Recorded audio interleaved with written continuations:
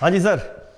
तो हमारा चैप्टर चल रहा था इंफ्रास्ट्रक्चर जिसके अंदर सबसे पहले हमने पढ़ा था कि इंफ्रास्ट्रक्चर दो तरह का होता है, एक तरफ़ इकोनॉमिक और दूसरी तरफ़ क्या था? सोशल इसके ठीक बाद हमने स्टार्ट कर दिया था। इसके ठीक बाद हमने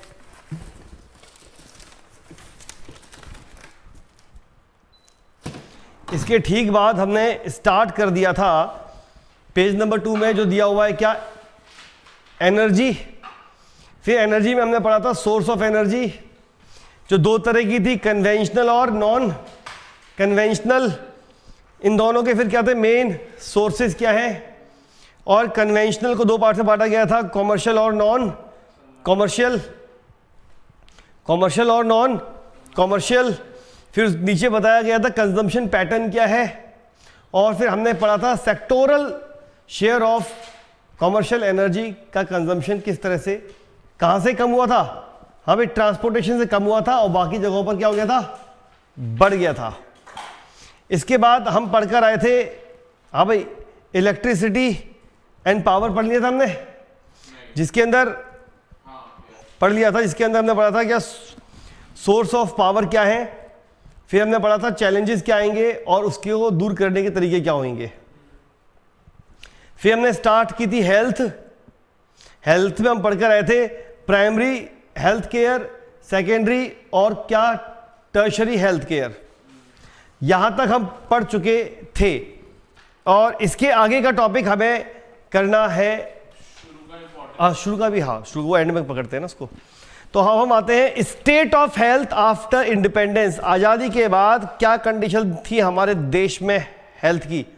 ये भी हो गया था, ये भी हो गया था, ये भी हो गया था। जिसमें हमने बात की थी पब्लिक सेक्टर में क्या कंडीशन थी और प्राइवेट सेक्टर में क्या कंडीशन थी? और इसके बाद ये ये चार टॉपिक थे, ये नीचे के पार्ट ये नीचे वाला हो गया था चैलेंज ये भी नहीं हुआ था, यही ये बचे हुए हैं। हम्म।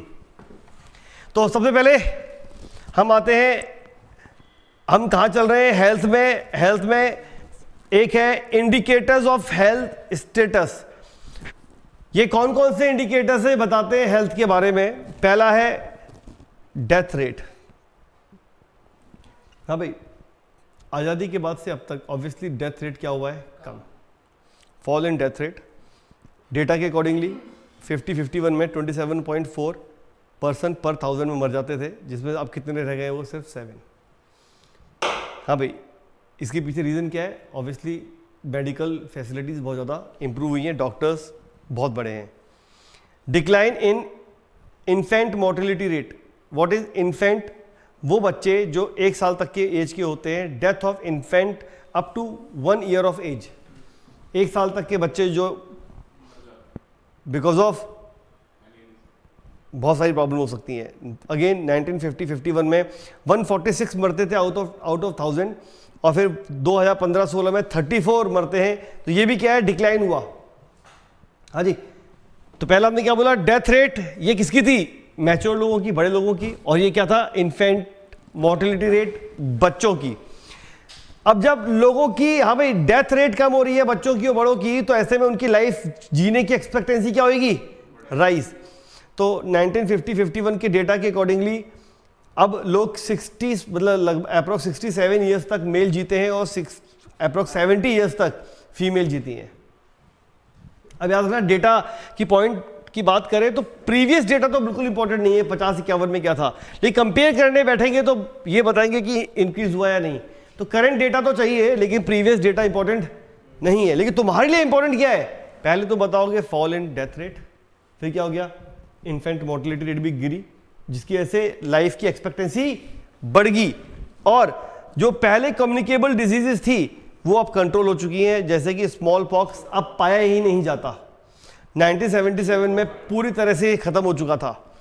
मलेरिया 1958 में 6.5 मिलियंस को हुआ करता था, जो घट के 10.5 10.7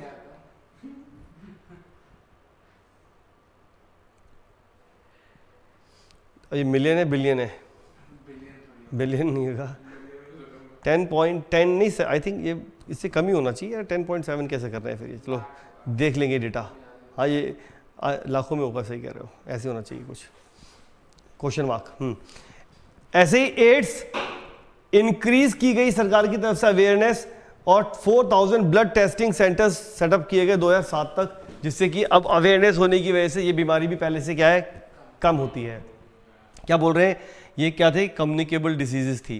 था क्या ये indicators of of health status health को लेकर ये चार पॉइंट हैं जो बताते हैं कि हमारे यहाँ पर, हमारे देश में हेल्थ सेक्टर इंप्रूव हुआ या नहीं। पहला क्या था भाई? जवान मरे, कम मरते हैं। बच्चे कम मरते हैं। लोग ज़्यादा जीते हैं और लास्ट कम्युनिकेबल डिज़ीज़ भी क्या हो चुकी है अब? कम हो चुकी हैं। हाँ अब हम आते हैं इंडियन सिस्टम ऑफ़ मेडिसिन ये इंडियन सिस्टम ऑफ़ मेडिसिन क्या है? हमारे देश में डॉक्टर्स यानी डॉक्टरी कितने तरह की होती है? एक होती है आयुर्वेद, एक होता है योगा, एक होता है यूनानी, एक होता है सिद्धा, एक होता है न्यूट्रोपैथ, और एक होता है हेमो, हेमोपैथी। तो इस तरह से हमने क्या देखा? One two three four five six छह तरह की क्या है ये? मेडिकल सिस्टम है। इन सभी से क्या होता है? ये इसी को कहते हैं होम्योपैथी को कहते हैं। इन सबसे क्या होता है?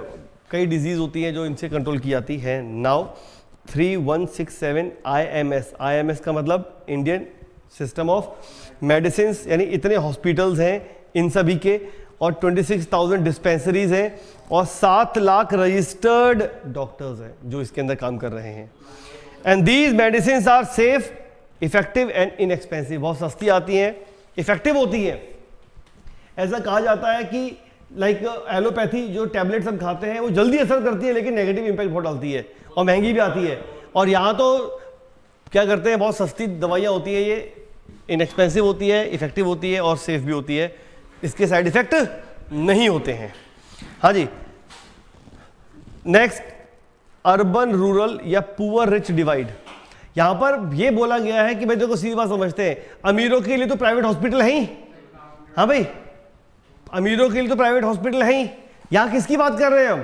किसके पास फैसिलिटीज़ नहीं है? गरीबों के पास। तो ये सारी की सारी बात हो रही है गरीबों की, और वो भी कौन से गरीब? तो स्पेशली बात की जा रही है रूरल एरियाज़ की।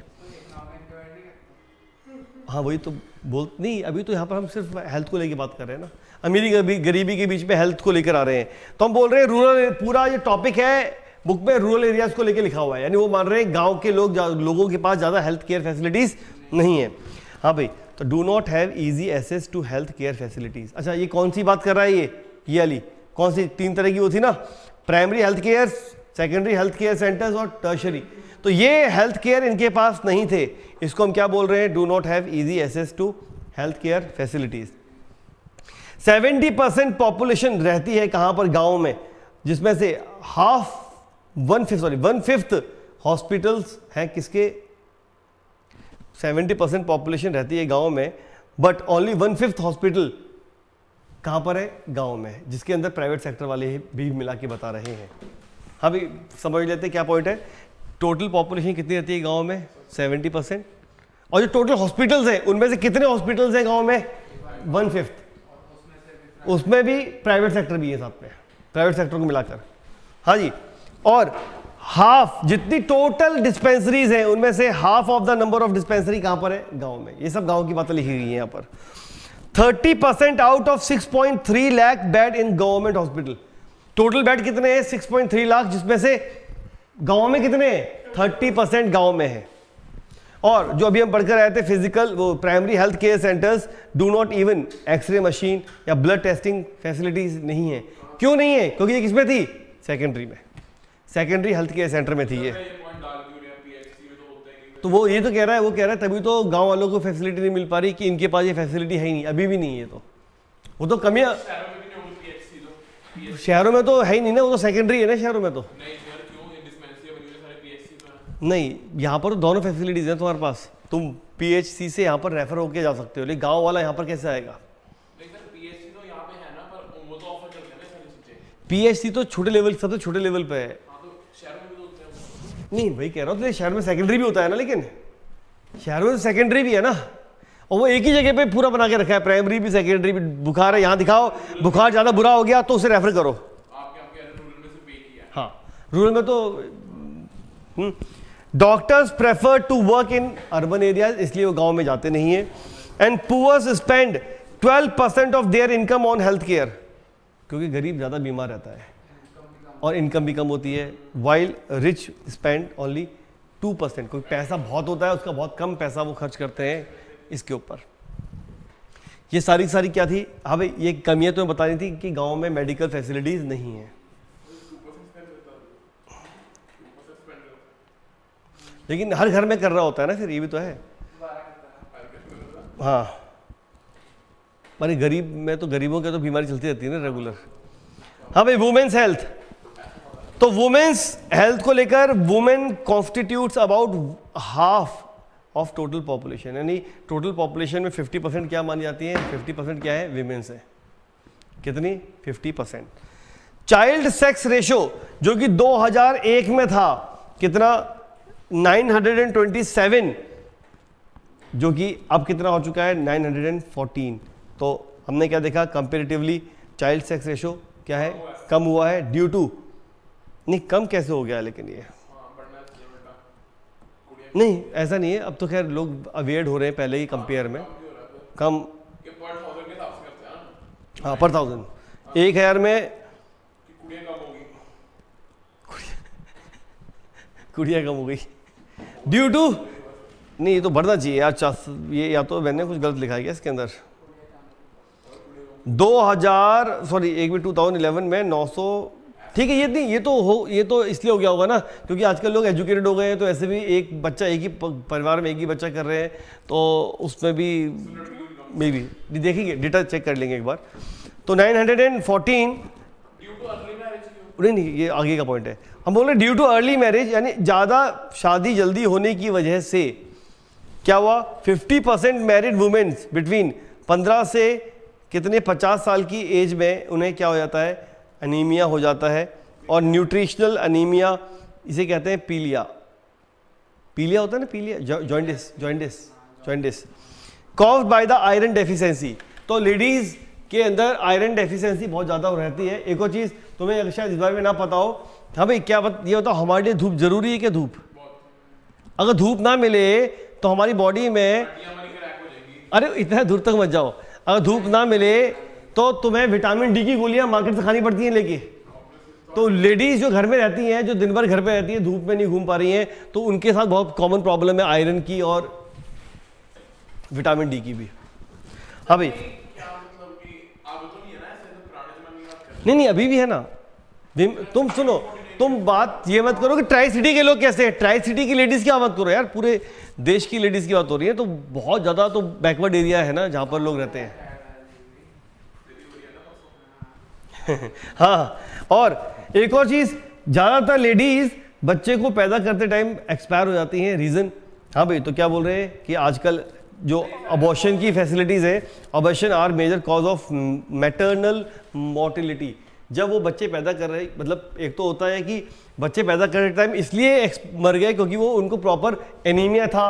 एक तो ऊपर वाली चीज़ लेकर आओ एनीमिया था तो वो उस ड्यूरेशन में मतलब कैपेसिटी नहीं होती इसकी वजह से वो because of lack of whatever efficiency वो ज़िंदा नहीं रहती हैं डेफिशिएंसी और दूसरा, क्या बोल रहे हैं?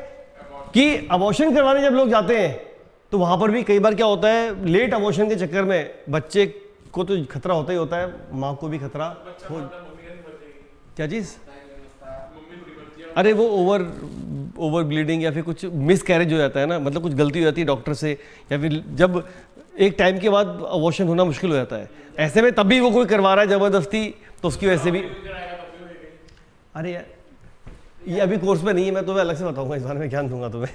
हाँ need to create awareness on health hygiene and provide efficient system efficient system क्या है? वही primary health care secondary health care और टर्शरी इसको एफिशिएंट बनाओ और हेल्थ और हाइजीन को लेके अवेयरनेस फैलाओ।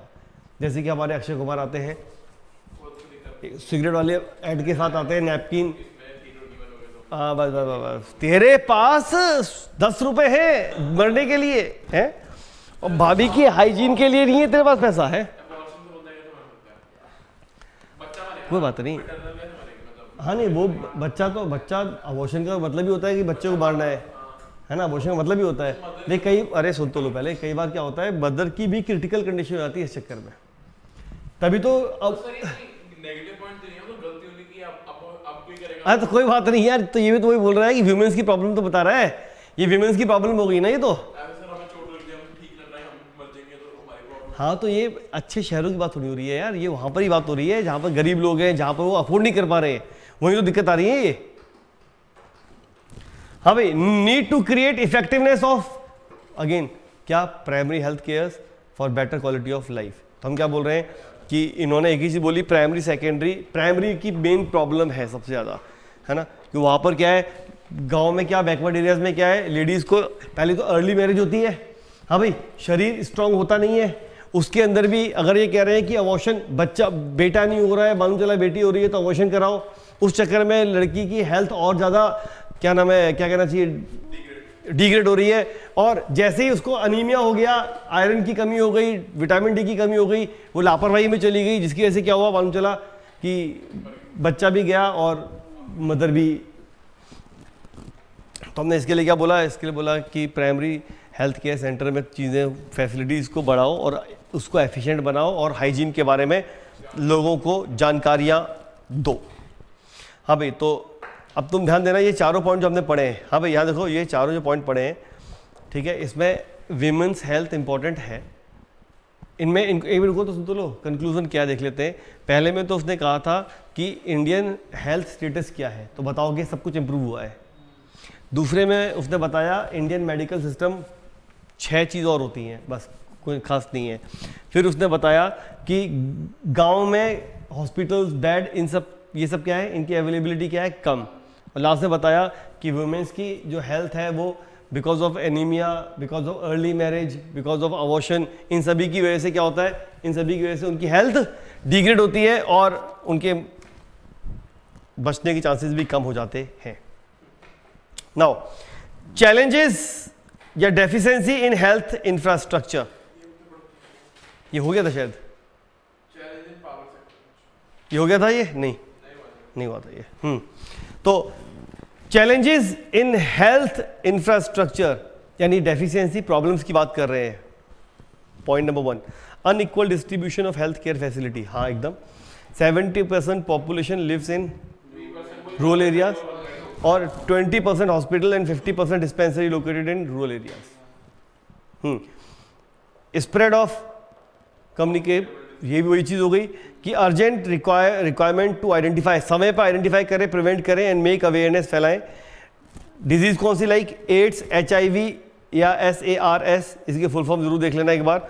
एड्स क्या है? Acquired immuno deficiency syndrome H क्या है? Human immuno deficiency virus virus होता है एचआईवी वायरस की वजह से क्या होता है? AIDS S A R S severe acute ऐसे third point privatisation of health care privatisation की वजह से हाँ भाई, इसकी मेंटेनेंस पे खर्चा बहुत होता है प्राइवेट सेक्टर में, इसकी वजह से ये लोग हाई चार्ज लेते हैं और गरीब लोग उसे अफोर्ड नहीं कर पाते हैं। Private sector plays a major role in medical education and training medical technology sale of pharmaceutical etcetera private sector is very expensive which is beyond the major part of the सब लोगों की, बस की बात नहीं है कि वो प्राइवेट में फोटेज और हर जगह जाके अपने इलाज करा सकें। इम्प्रॉपर सैनिटेशन फैसिलिटी यानी सैनिटेशन की फैसिलिटी हमारे यहाँ अच्छी नहीं है। Thirty percent of the houses in urban areas do not have toilet facility फिर से तुम ये हम ये बात नहीं करेंगे कि हम ये नहीं बोलेंगे कि अर्बन का मतलब सिर्फ़ हमारा ट्राई सिटी है है ना? हम बात करेंगे अर्बन में ऐसे बहुत शहर आते हैं इवन ट्राई सिटी के अंदर भी बहुत दिखाई देते हैं सुबह सुबह लोटा लेके बैठते हुए। And rural population does not have even twenty percent of minimum sanitation facilities हम क्या बोल रहे हैं? शहरों में थर्टी परसेंट लोगों के पास नहीं है और गाँव में डज नॉट है ट्वेंटी परसेंट मिनिमम सैनिटेशन इनके पास भी नहीं है। है?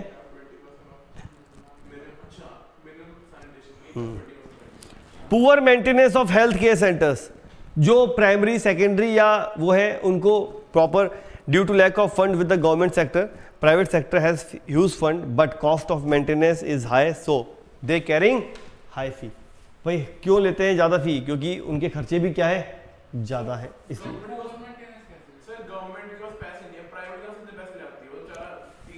गुड क्वेश्चन ऐसा है कि प्राइवेट तो गवर्नमेंट तो पैसा लेके बैठी है बजट में। कौन खा गया? नेता बिजनेसमैन तो अल्टीमेटली अल्टीमेटली पैसा हम लोगों के घरों में पहुँचा है। इसलिए भैया बताओ जब रिसेशन आता है तो रिसेशन कौन ले आता है पैसा? रिच लोगों के पास पैसा पहुँच जाता है। फिर वो खर्च नहीं करते हैं। अपने पास स्टोर कर लेते हैं रोक लेते हैं उस पैसे को जिसकी ऐसे लीकेज है मतलब क्या लीकेज कहते हैं उसे? अच्छा वो हैं। हाँ तो वो वो प्राइवेट शांत बैठे रहते हैं। अब जैसे बड़े बड़े नीरव मोदी और सब भाग गए। वहाँ जाकर भी अच्छी लाइफ लाइफ जी रहे हैं। लेकिन पैसा उन्होंने वापस नहीं किया। उन्होंने बोला, हमारी कंपनी लॉस में है, हम पैसा नहीं दे पा रहे हैं। उसके बाद भी लेविश लाइफ जी पा रहे हैं। है? तो ये क्या था? ये था हमारा, क्या प्रॉब्लम्स है हेल्थ के अंदर? पहला क्या था? Unequal distribution of health care गाँव में प्रॉपर फैसिलिटीज़ नहीं थी, शहरों के कंपेयर में। दूसरा कम्युनिकेबल डिज़ीज़ बहुत तेज़ी से फैल रही है। उसका अवेयरनेस पहुँचाने ज़रूरी है, नहीं पहुँच पा रही है। Privatisation of health care health care का प्राइवेटाइजेशन हो गया, इसकी वजह से लोग मेडिकल फैसिलिटी अवेल नहीं कर पाते हैं। इम्प्रॉपर सैनिटेशन फैसिलिटी नहीं है, जिसकी वजह से मक्खी, मच्छर और कई तरह की बीमारियाँ और poor maintenance of health care centres नहीं है। Measures to solve deficiency in the health infrastructure आओ भी जरा देखे। Decentralisation of the public health services public health services क्या है? ये तो है पब्लिक हेल्थ सेंटर्स जिसका पुअर मेंटेनेंस था। बोल रहे हो डिसेंट्रलाइज कर दो। क्या कर दो? Decentralise health services should be properly allocated in the different areas मतलब प्रॉपर तरीके से हर जगह पर पहुंचाओ।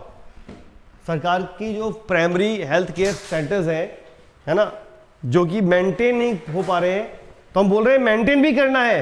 हाँ भाई, यहाँ देखो मेंटेन भी करना है बोलते ही मैंने थर्ड पॉइंट भी जोड़ दिया इसके अंदर। ये रहा। Effectiveness of the primary health care effective भी करो और ज़्यादा से ज़्यादा एरिया तक डिफरेंट एरिया तक पहुंचाओ। डिसेंट्रलाइज क्या मतलब है?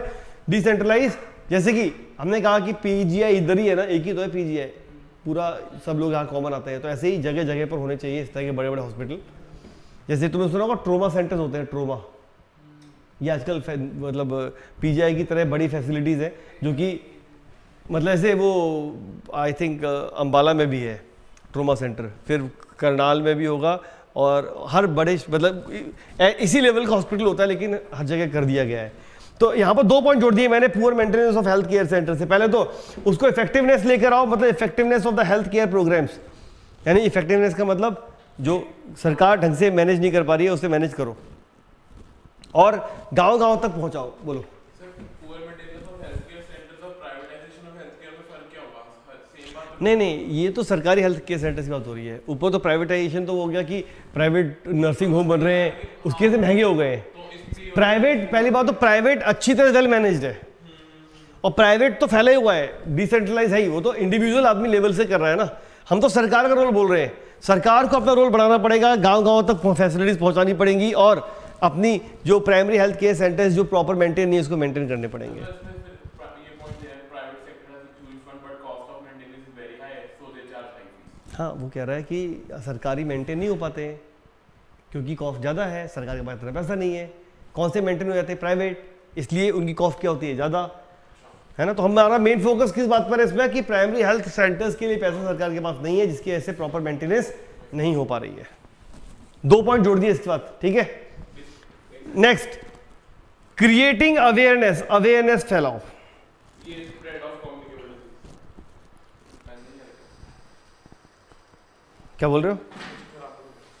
नहीं स्प्रेड ऑफ़ कम्युनिकेशन डिज़ीज़ तो ये थी ना, फैल रही है बीमारियाँ। Through newspaper radio television role of telecom and IT sector can't be neglected यानी कि ज़्यादा ज़्यादा लोगों को उन बीमारियों के हाँ ये भी कह सकते हैं कि ज़्यादा ज़्यादा लोगों को बीमारी के बारे में बताओ, जिससे कि लोग क्या करें? बचे। Reduction in urban rural divide अभी urban rural divide proper management of health care facility should be done so this gap can be reduce तो अर्बन रूरल डिवाइड क्या कहता था? हाँ भाई कि गाँव में फैसिलिटी अच्छी नहीं है, शहर में फैसिलिटी अच्छी है तो उसको जितना हो सके उतना क्या करना है? कम करना है। तो अर्बन रूरल डिवाइड क्या था? ये था, ये सारी प्रॉब्लम थी गाँव को लेकर। इसको लेकर हम यहाँ पर आ गए कि अर्बन रूरल डिवाइड को भी सही करना है। Easy access of health care centre facilities ये किसकी होंगी? सरकार की या प्राइवेट की? गवर्नमेंट को। प्राइवेट को तो कुछ कह नहीं सकते। तो easy access health care facilities का मतलब हाँ वही कह सकते हैं एक तरह से कि लोगों तक पहुंचाओ मेडिकल फैसिलिटीज़ को। जैसे कि ए, वो होता नहीं था पोलियो ड्रॉप्स तो पोलियो ड्रॉप्स घर घर जाके पिलाई जाती थी। ऐसे increase in investment investment should be increase so that more health care institution can be open नहीं यहाँ पर किसकी इन्वेस्टमेंट की बात कर रहा है? गवर्नमेंट गवर्नमेंट का इन्वेस्टमेंट बढ़ाना पड़ेगा। इवन इतना ही नहीं गवर्नमेंट भी बढ़ाए। प्राइवेट सेक्टर भी आए और एफ़ भी आए एफ़ भी आए, विदेशी भी आए। अल्टीमेटली जितने ज़्यादा लोग आएँगे कंपटीशन बढ़ेगा तो उतना ही सस्ता होएगा। हाँ भाई, अभी तक हम बात कर रहे थे, अभी तक हम बात कर रहे थे इलेक्ट्रिसिटी की, अभी तक हम बात कर रहे थे हेल्थ की, अब हम बात कर रहे हैं सबकी। इंफ्रास्ट्रक्चर का फ़ायदा। पॉइंट नंबर वन डेवलपमेंट को प्रमोट करता है। Direct relation between the infrastructure and development it increases productivity and quality of life इसलिए लोग बड़े शहर में रहना चाहते हैं क्योंकि वहाँ का इंफ्रास्ट्रक्चर अच्छा होता है, इसलिए उनको अच्छी बेटर क्वालिटी ऑफ़ लाइफ मिलती है। Develops agriculture develops agriculture for speedy and large scale transportation of agriculture inputs like seeds pesticides and fertilisers गाँव तक टाइम पर पहुँच पाएँगे। किसके थ्रू रेलवेज रोडवेज़ शिपिंग के थ्रू एंड साथ में ज़रूरत पड़ेगी किसकी? इंश्योरेंस और बैंकिंग की। ये सारी फैसिलिटीज़ ये सब क्या है? इनपुट्स तो है। These all are called inputs यानी कि हम क्या बोल रहे हैं? इंफ्रास्ट्रक्चर का फ़ायदा। एग्रीकल्चर भी डेवलप होता है। एक तरफ़ तो क्या बोले थे? डेवलपमेंट होता है देश का। यहाँ पर जब हमने यहाँ पर डेवलपमेंट की बात की तो यहाँ पर दो चीज़ों की बात की गई है। प्रोडक्शन को बढ़ाना है और क्वालिटी ऑफ़ लाइफ यहाँ पर एग्रीकल्चर एग्रीकल्चर में रेलवे रोडवेज़ इंश्योरेंस बैंकिंग की बात करी है अरे अल्टीमेट तो गुड्स सुनो किस किस की बोल रहे हो? रेलवेज रॉ मटेरियल कहाँ तक पहुँचेगा? कैसे पहुँचेगा? जल्दी से पहुँचाना है ना हमें। तो वो इंफ्रास्ट्रक्चर काम आएगा। अच्छा रास्ते में कुछ हो गया तो फ़सल जल गई तो? इंश्योरेंस कराओ बैंक से कर्जा लो। उन सबको मिला के बोला गया है। Facilitates smooth functioning of economy हाँ भाई इकोनॉमी को स्मूथ चलाने के लिए इट इंक्रीजेज द प्रोडक्टिविटी जो कि ऊपर बढ़कर आए थे प्रोडक्शन बढ़ेगा। इन प्राइमरी सेक्टर भी सेकेंडरी भी और टर्शरी भी, हर जगह बढ़ेगा। जिससे क्या होगा इकोनॉमी स्मूथ फंक्शनिंग में आएगी, लोगों को नौकरी मिलेगी और फास्ट ग्रोथ होएगी। It enhance quality of life जो ऊपर पढ़कर आए थे, क्या था क्वालिटी ऑफ़ लाइफ के अंदर? कि inadequate infrastructure can have multiple adverse affect on health क्यों? क्योंकि प्रॉपर अगर फैसिलिटीज़ नहीं मिलेंगी इंफ्रास्ट्रक्चर की तो प्रॉब्लम हो सकती है। मच्छर काट लेंगे, डेंगू हो जाएगा। Improvement in water and sanitation facilities को इम्प्रूव करना है और वाटर बोन डिज़ीज़ को बहुत, तुमने नोटिस किया होगा, आजकल सब लोग आरओ का पानी पीते हैं। क्यों? क्योंकि पानी में कभी कुछ ज़्यादा होता है, कभी कुछ कम होता है, इसलिए ऐसे में क्या है, ऐसे में प्रॉपर सैनिटेशन के थ्रू जहाँ तक तो हो सके क्या बीमारियों को कम करने की कोशिश की जाए। एक्सपेंड मार्केट साइज़ क्या बोल रहा है? क्रिएटिंग न्यू मार्केट इंफ्रास्ट्रक्चर को क्या कर रहा है? नए मार्केट लेकर आओ थ्रू ट्रांसपोर्ट कम्युनिकेशन यानी कि आपने जो प्रोड्यूस किया है, वो दुनिया भर में जाके बेचो थ्रू इंफ्रास्ट्रक्चर नए मार्केट एक्सपेंड करो इंफ्रास्ट्रक्चर की वजह से। It promote capital formation and investment as output increases जैसे प्रोडक्शन बढ़ेगा generation of income also increases हाँ भाई प्रोडक्शन बढ़ेगा तो इनकम बढ़ेगी सेविंग बढ़ेगी इन्वेस्टमेंट होएगा। It promotes large scale production and increase foreign direct investment विदेशियों को भी बुला रहे हैं कि आओ हमारे देश में पैसा। इंफ्रास्ट्रक्चर अच्छा आउटपुट अच्छा आउटपुट अच्छा फैसिलिटेट आउटसोर्सिंग हमारे यहाँ पर इंफ्रास्ट्रक्चर अच्छा है इसलिए ग्लोबल डेस्टिनेशन हम बने हुए हैं बीपीओ के लिए या कॉल सेंटर्स के लिए।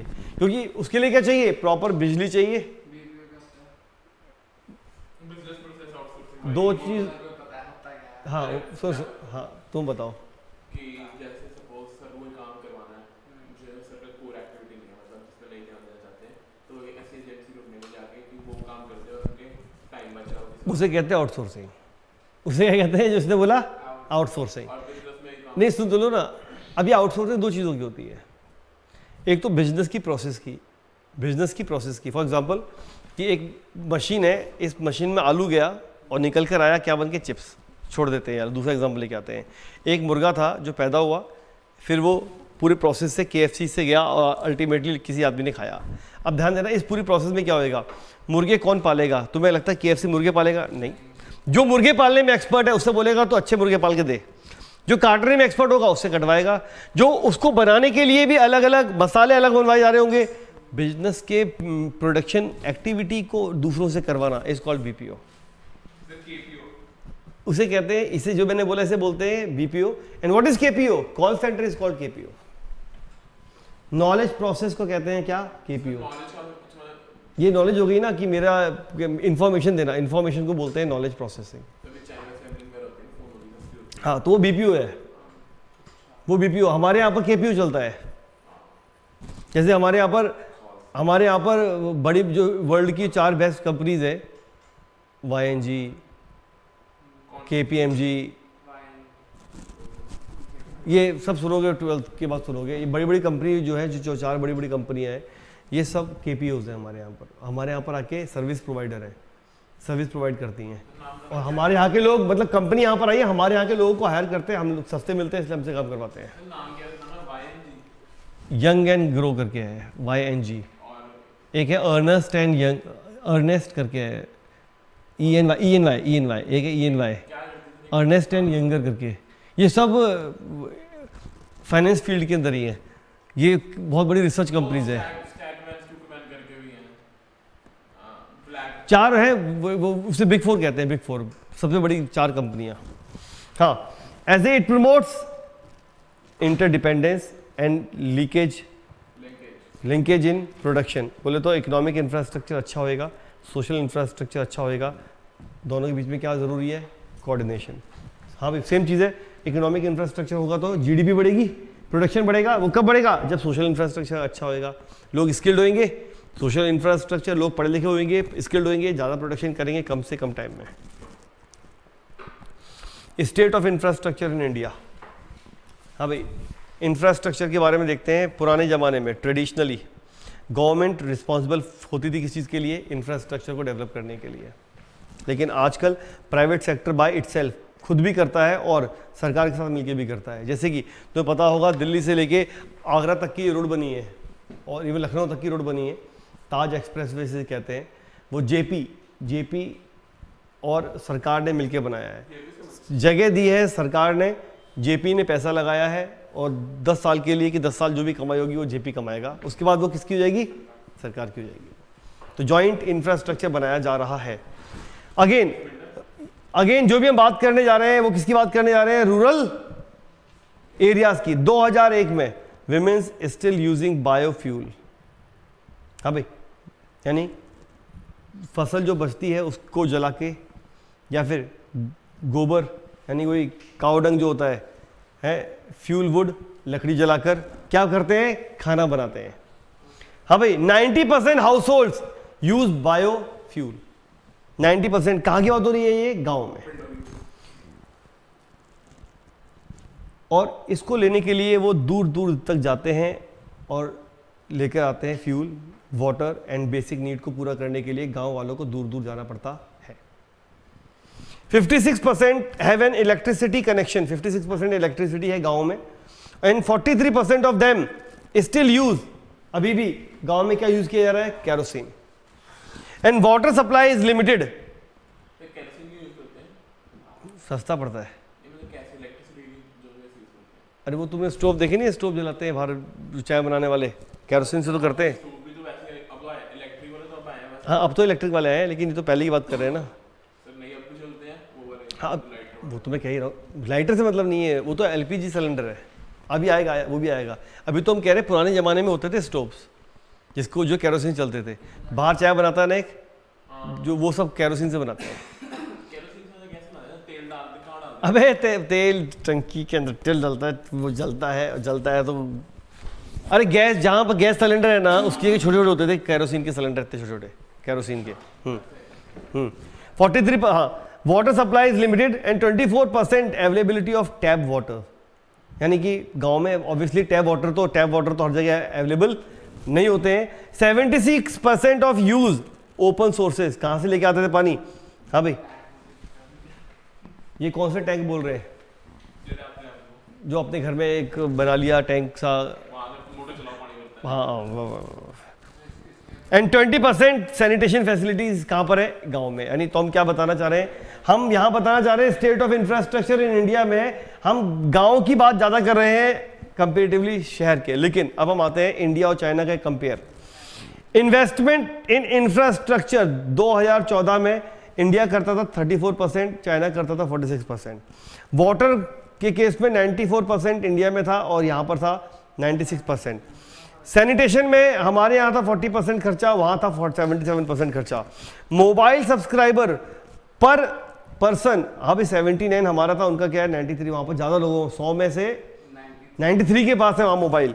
पावर जनरेशन इतना मेगावाट होता था, किलोवाट जो कहते हैं, ऐसे ही वहाँ पर इतना था। तो हमने क्या देखा? हाँ भाई, देखने जरा, कोई भी चीज़ दिखाई दे रही है यहाँ पे इंडिया ज़्यादा हो? नहीं। हर जगह चाइना आ गया है। तो आप देखो, इन सबको हम लेके आते हैं। पहला पॉइंट पहला पॉइंट पहला point India invest only 24 percent of its GDP 34 34 on infrastructure which is below China and other countries अब यहाँ पर अदर कंट्रीज़ का डेटा मैंने लिया नहीं है, कोई ज़रूरी नहीं है। सिर्फ़ तुम्हें चाइना से कंपेयर करना है। Second water water and sanitation इकट्ठे कर दिए गए नेक्स्ट पॉइंट पे। वाटर एंड सैनिटेशन भी हाँ भाई improve water resource and sanitation लेकिन तब भी वो क्या है? किससे कम है? चाइना से और दूसरे कंट्री से कम है। हाँ हमने ग्रो तो किया है, लेकिन कंपेरेटिवली तब भी कम है। ऐसे तीसरे पॉइंट में दोनों को इकट्ठे कवर कर लिया गया। Telecommunication and power is lower as compare to other countries grow तो हुई है, लेकिन अभी भी कंपेरेटिवली हम क्या है? कम कर रहे हैं। हाँ जी, ऐसे ही लो इनकम कंट्रीज़ के अंदर क्या होता है?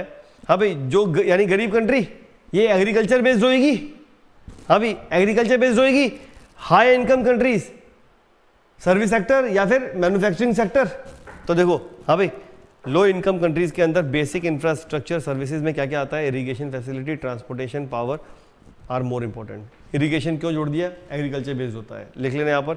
एग्रीकल्चर क्या बोल रहे हैं? एग्रीकल्चर पे ज़्यादा ज़ोर होता है गरीब कंट्रियों का, इसलिए। Second high income countries power and telecommunication infrastructure यानी क्या बोल रहे हैं? यानी वो जो रिच कंट्रीज़ हैं, उनको पावर और क्या? ट्रांसपोर्टेशन सॉरी टेलीकम्युनिकेशन जिसमें इंटरनेट भी आ गया मोबाइल भी आ गया सब आ गया। अब तो हम बोलेंगे क्यों इनको ट्रांसपोर्टेशन की उतनी ही क्या है? वो भी है लेकिन वो ऑलरेडी डेवलप्ड है उनके यहाँ पर पहले से ही। ऐसे इंडस्ट्रियल प्रोग्रेस के लिए क्या चाहिए? बिजली चाहिए पावर से कहते हैं पावर जनरेशन चाहिए ट्रांसपोर्टेशन भी चाहिए कम्युनिकेशन भी चाहिए। ये सब इम्पोर्टेंट है। वैसे कौन सा बोलो ना?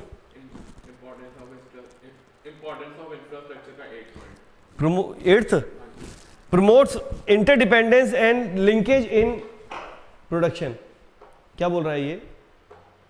इकोनॉमिक और सोशल इंफ्रास्ट्रक्चर क्या दोनों आपस में इंटरलिंक्ड है? हाँ. अगर इकोनॉमिक इंफ्रास्ट्रक्चर बढ़ेगा तो लोग ज़्यादा कमाएँगे. लोग ज़्यादा कमाएँगे तो अपनी इंफ्रास्ट्रक्चर की फैसिलिटी को मतलब पढ़ाई लिखाई पे भी पैसा खर्च करेंगे हेल्थ पे भी पैसा खर्च करेंगे, जिससे कि वो सब क्या होगा इंप्रूव तो वो क्या बोल रहा है? इंटरलिंक होता है ये दोनों. सोशल और इकोनॉमिक इंफ्रास्ट्रक्चर दोनों कैसे होते हैं? आपस में इंटरलिंक होते हैं अब इस चैप्टर के अंदर वैसे तो बहुत कुछ फैल चुका है इसके अंदर, है ना? बहुत कुछ है इसके अंदर। लेकिन जितना भी हमने आज किया है, सुन लो पहले, जितना भी हमने आज किया है, इसको भी हम इंपॉर्टेंट ना मानते हुए सर ये समझ रहे हैं, इस चैप्टर का स्ट्रक्चर क्या है?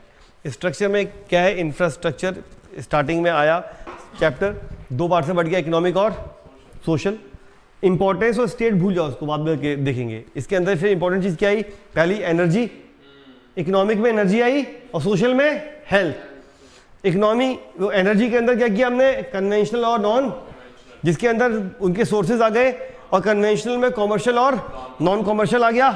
और फिर उसमें क्या बता दिया कि कॉमर्शियल और नॉन कॉमर्शियल का पैटर्न क्या है?